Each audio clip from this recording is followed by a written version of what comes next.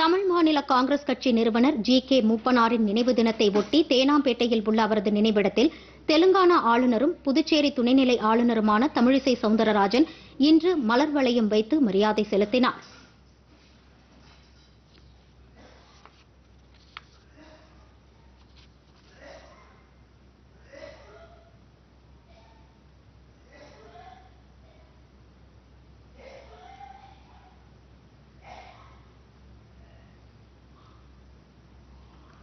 தமிழக பிஜேபி தலைவர் அண்ணாமலை மற்றும் பிஜேபி மூத்த நிர்வாகி கரு நாகராஜன் ஆகியோரும் ஜி கே மூப்பனாரின் நினைவிடத்தில் மரியாதை செலுத்தினர்.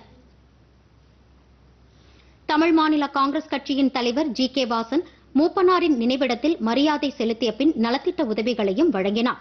கட்சியின் புதிய உறுப்பினர்களுக்கு அடையாள அட்டைகளையும் அவர் வழங்கினார்.